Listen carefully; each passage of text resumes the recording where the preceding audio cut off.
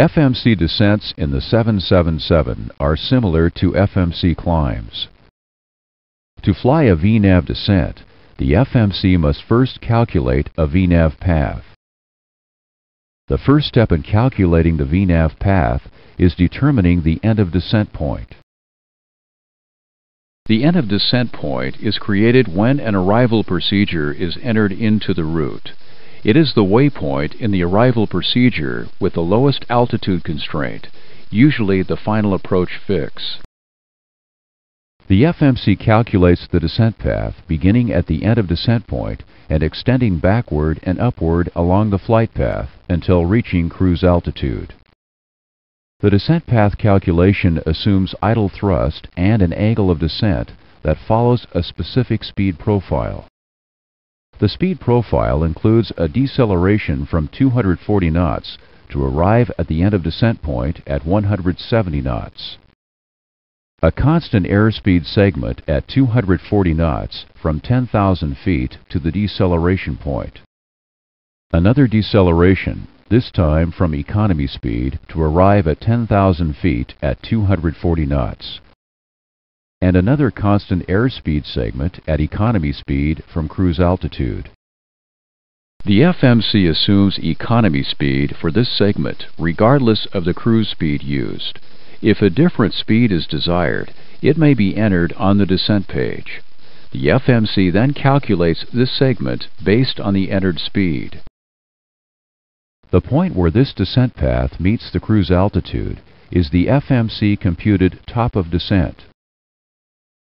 With the autopilot, autothrottle, and VNAV engaged, the 777 automatically flies this descent path from top of descent to end of descent.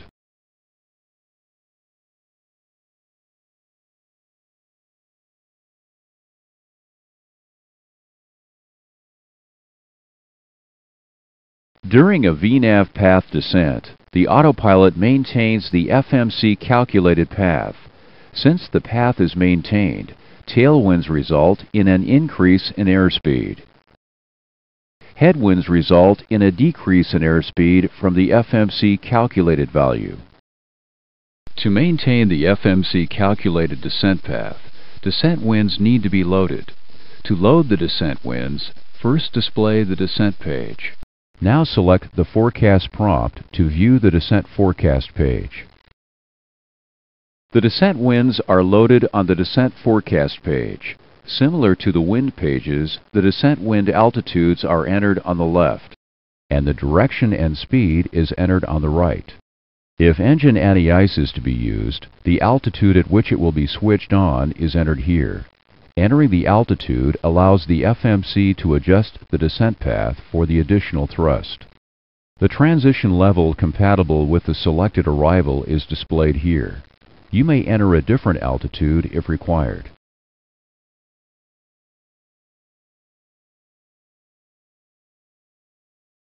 Descent winds can be loaded manually or with data link.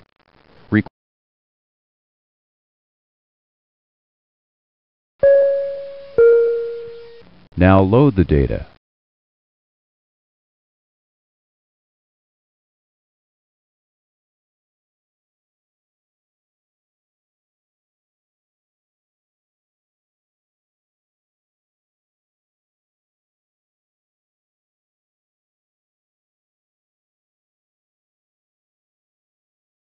The winds and thermal anti-ice are now included in the descent path calculation. Note that you did not need to execute the uplink. Now return to the cruise page. Touch the highlighted key. The distance to top of descent is now based on the data entered on the descent forecast page.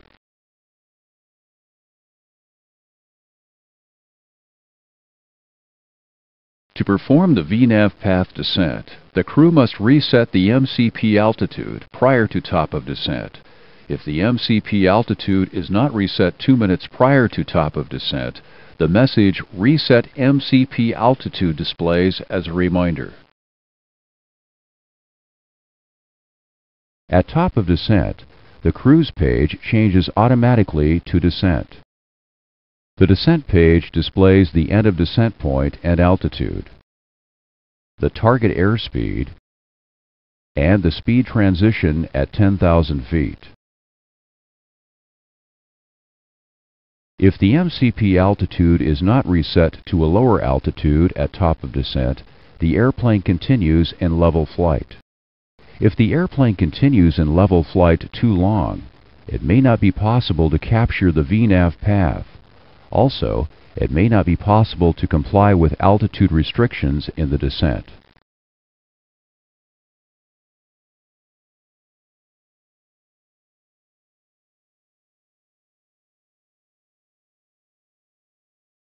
If descent prior to top of descent is necessary, it can be done very easily in VNAV mode. As with any descent, the MCP altitude must first be reset to a lower altitude. Reset the MCP altitude to the clearance altitude of 9,000 feet.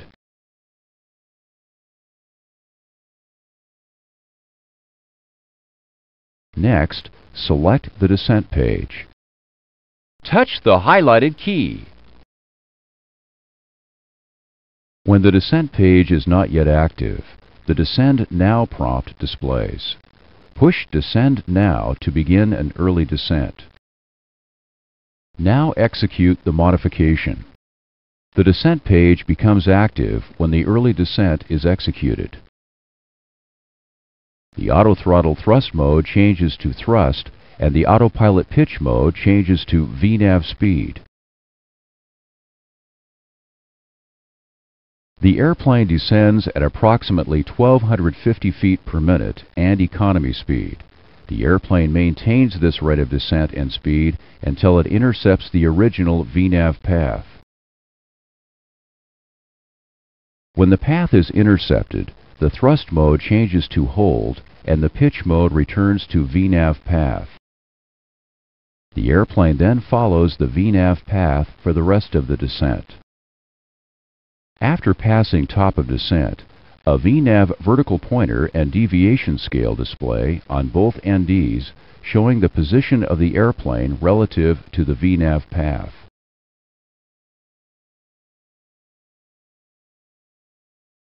You learned earlier that unforecast headwinds can decrease the descent speed as the airplane maintains the VNAV path. If the speed decreases more than 5 knots, the autothrottle comes alive to bring airspeed back to the FMC target speed. If the autothrottle is not engaged, the message Thrust Required displays. You also learned earlier that unforecast tailwinds can increase the descent speed as the airplane maintains the VNAV path. Drag required appears if the speed increase exceeds 5 knots.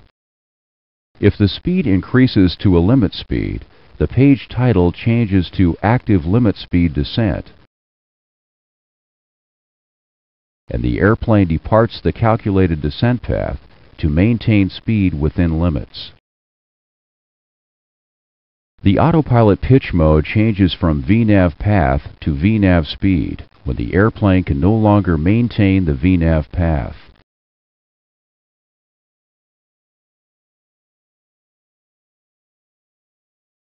If an airspeed other than the FMC computed target speed is desired, it is entered on the speed line and executed the same way as in climb or cruise.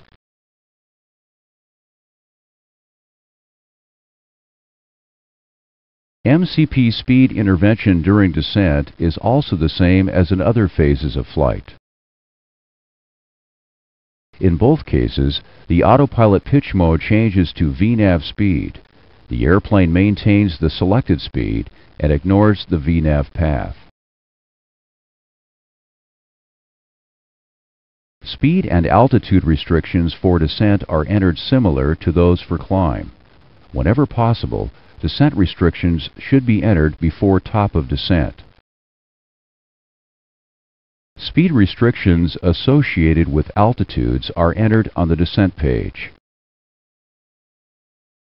Speed and altitude restrictions associated with waypoints are entered on the legs page.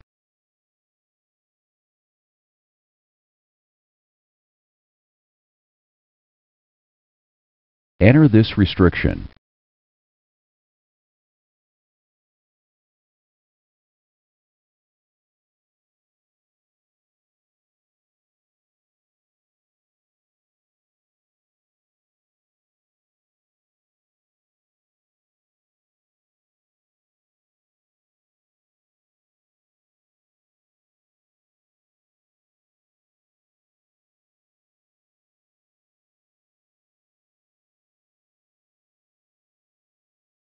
Touch the highlighted key.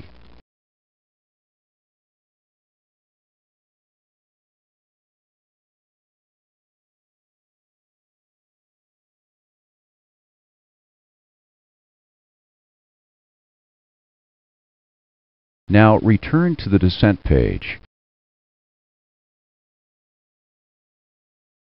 The waypoint restriction entered on the legs page displays here.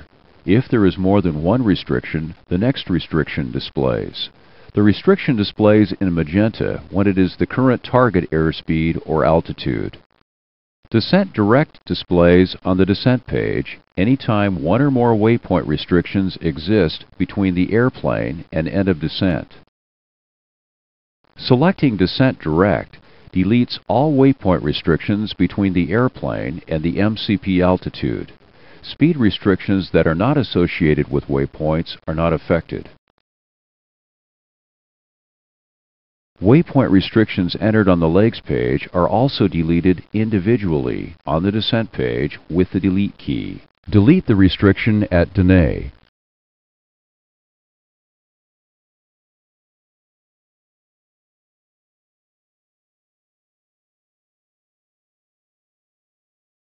This restriction is associated with an altitude rather than a waypoint. Enter the restriction.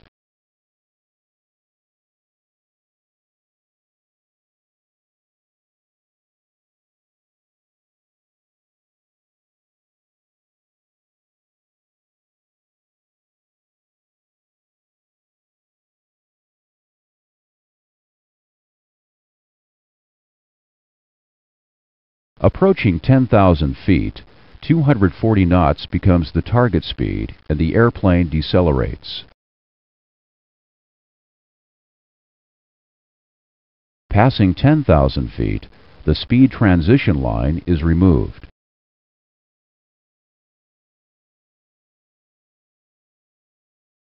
Approaching 6,000 feet, 220 knots becomes the target speed and the airplane decelerates again.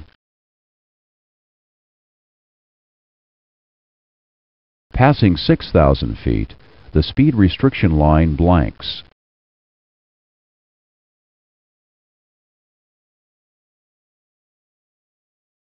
Approaching the end of descent point, the airplane decelerates to arrive at the end of descent point at the end of descent altitude at 170 knots. At the end of descent point, the page title changes to Active End of Descent if the descent is not followed by a climb phase. Descent information about a waypoint is available on the Off-Path Descent page. Select the Off-Path Descent page. On this page, the FMC enters the end of descent waypoint for you, but any database waypoint may be entered the straight line distance to the entered waypoint is displayed. The airspeed and altitude restriction for the entered waypoint is displayed. Glide slope intercept for 24 right does not have an airspeed restriction. The speed lines are identical to the descent page. Select the display prompt to show the clean and drag circles. The drag circle is white and the clean circle is cyan. Both circles are centered on the waypoint entered in the descend to line. From inside the clean circle and outside the drag circle, the airplane can descend direct to the glide slope intercept point at 2,200 feet. This assumes idle thrust and speed brake extended.